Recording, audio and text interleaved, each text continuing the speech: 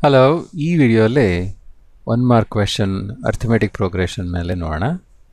Let's look at look in this video how to solve A simple question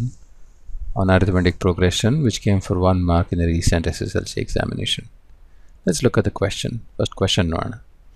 ಏನು ಕೇಳಿದೆ ಕ್ವೆಶನಲ್ಲಿ ಇನ್ an arithmetic progression if A of N equals to N plus one then the common difference of the given progression is ಒಂದು arithmetic progression equation ಕೊಟ್ಟಿದ್ದಾರೆ A of N equals to N plus one ಅಂತ they want us to find the common difference D ಕಂಡಿಡಿರಿ ಅಂತ ಕೊಟ್ಟಿದ್ದಾರೆ ನಾಲ್ಕು choice ಕೊಟ್ಟಿದ್ದಾರೆ ಹೆಂಗೆ ಮಾಡ್ತಾರೆ ಈ ಥರ problem how will you solve this problem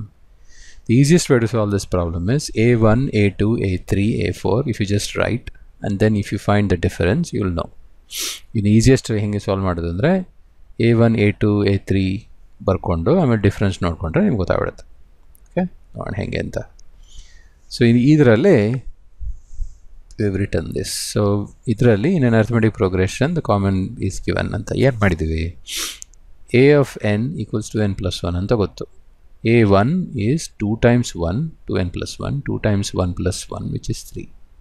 A to is two times two plus one which is two times two is four four plus one five a3 2 times 3 6 6 plus 1 7 so ಮೂರು value ಗೊತ್ತಾಯಿತು we know the value of A one A to A three what is a common difference common difference is A three minus A to which is seven minus five to A to minus A one A to minus A one which is five minus three to so A one ಮತ್ತು A to ಮತ್ತು A to ಮತ್ತು A three difference ನೋಡಿದ್ವಿ which is to therefore common difference is 2 it's a simple question no? if you just uh, create the terms of the arithmetic progression you'll be able to easily find out what's the common difference let us look at other questions in the next video ಮುಂದಿನ ವಿಡಿಯೋಲಿ ಬೇರೆ question ನೋಡೋಣ